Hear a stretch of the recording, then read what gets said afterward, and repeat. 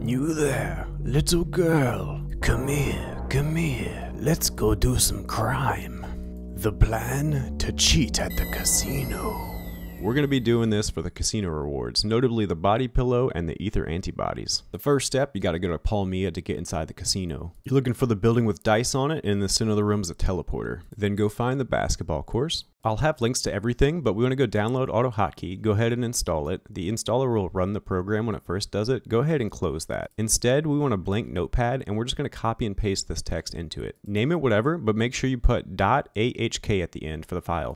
All right, now we can reopen AutoHotkey. And then from here, we want to click compile. And then here, we want to click browse. We want to find that notepad script that we just made and go ahead and hit convert. You should see a new green icon, which means it worked. So now go ahead and launch the game go stand on the basketball court. Go ahead and alt tab and just double click that. It'll run the exe and you can check that it's working by the bottom right. If it's green, you're good to go. And U is the key by default. And mwah, infinite casino coins.